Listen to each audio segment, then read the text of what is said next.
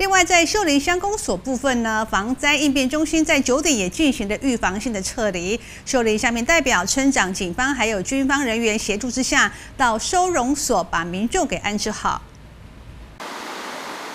中度台风海葵三号早上五点出入台湾，风势开始变大，好一阵持续下的不停。秀文乡位处于浅势溪流山区，有二十八条都在九个村内。秀文乡在一片中心早上九点开始进行预防性撤离。秀文下面代表会主席骆燕林、集美村长田广珍开始进行广播进行撤离。各位村民平安，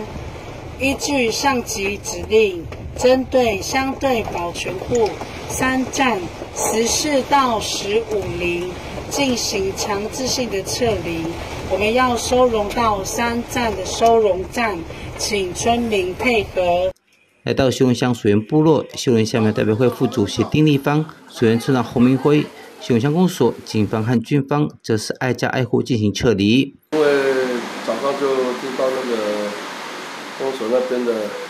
呃，镇定下来说，今天早上九点以后就开始全力撤，呃，那个失灵的村民撤离。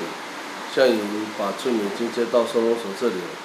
呃，很高兴，呃，那个军方这也协助，然后派出所，还有我们兵务主席一同协助撤离，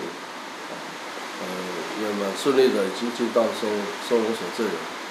为了保护他们的生命财产安全，啊，就把他们